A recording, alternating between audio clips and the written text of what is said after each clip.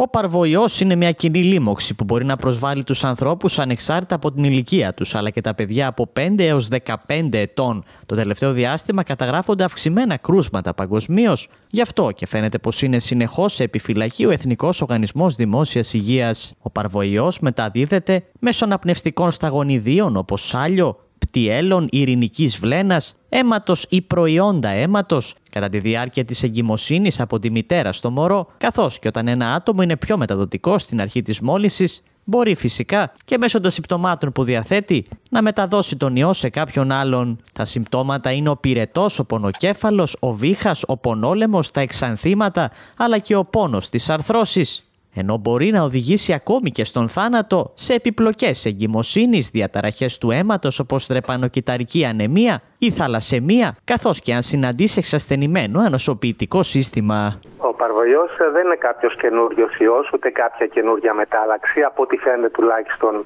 ναι. ε, μέχρι στιγμής. Πάντα υπήρχε. Τον έχουμε περάσει σχεδόν όλοι μας όταν Αχα. ήμασταν παιδιά. Ναι. Είναι μία από τις παιδικές ιώσεις. Η πέμπτη νόσος λέγεται αυτό που προκαλεί. Ναι. Ε, ή λιμώδες ερήθημα. Ε, απλά έτυχε αυτό το τραγικό περιστατικό το οποίο οφείλεται σε μια σπάνια επιπλοκή του, του παρβοϊού που θα σας εξηγήσω μετά. Ναι. Αυτός λοιπόν ο ιός είναι όπως τους άλλους αναπνευστικούς ιούς της εποχής. Συνήθως α, χειμώνα η άνοιξη είναι η μεγαλύτερη επίπτωσή του. Κολλάει από παιδί σε παιδί, κυρίως σε παιδιά γιατί σας λέω ότι ε, από τη στιγμή που το κολλήσουν, οι, οι, οι ενήλικες συνήθως έχουν αντισώματα και δεν κολλάνε. Κολλάει από παιδί σε παιδί με τα σάλια, με, τις, με τα εκρήματα από την μητούλα ε, και εκδηλώνεται στις μισές περιπτώσεις δεν το καταλαβαίνουμε καν. Περνάει χωρίς να το καταλάβει κάποιος ότι αρρώστησε. Στις άλλες μισές ε, αφού το κολλήσει μετά από 10 μέρες περίπου εκδηλώνει συμπτώματα όπως συνάχη, ε, λίγο πονόλεμο, αδιαθεσία όπως όλοι οι ιοί του αναπνευστικού.